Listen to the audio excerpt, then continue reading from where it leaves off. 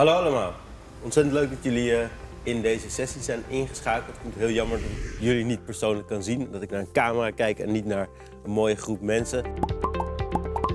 Fijn dat je kijkt naar Bibliotheek Plaza 2020.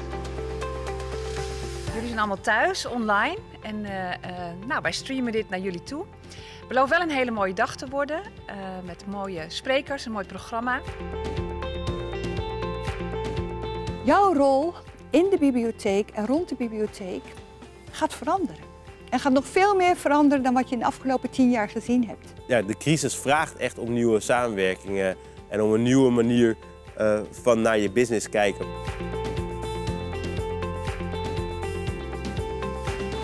Door je, dat je expert bent, dan heb je ook heel veel opties die je uitsluit. Dus vandaar dat wij zeggen de beginner's mind. In the beginner's mind there are many possibilities. In the expert's mind there are only a few. Dus op het moment dat een eh, relatie ongebruikelijk is, dat nodigt ook heel erg uit om jezelf te zijn. Want je kan je niet verstoppen, waardoor leren, veranderen en creëren ook als van natuurlijker kan ontstaan. Nou ja, ik weet niet, volgens mij zijn we met ongeveer 25 mensen hier in het gebouw. En toch was het wel heel erg leuk, want ik kom weer eens mensen zien, ook al waren het er maar 20, 25.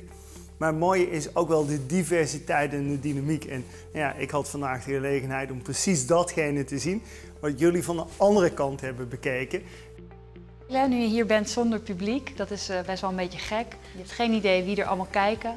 Maar gezien het aantal vragen wat ik kreeg en ook eh, de inhoud van de vragen, denk ik wel dat, het, eh, dat veel mensen eh, nou ja, het leuk vonden om, eh, om te luisteren.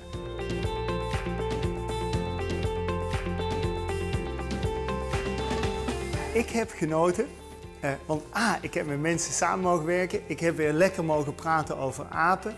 Eh, maar ja, helaas, ik heb niemand letterlijk kunnen vlooien. Vanuit deze studio wens ik je nog een fijn vervolg toe. Met muziek, met de chats. Wie weet, tot een andere keer.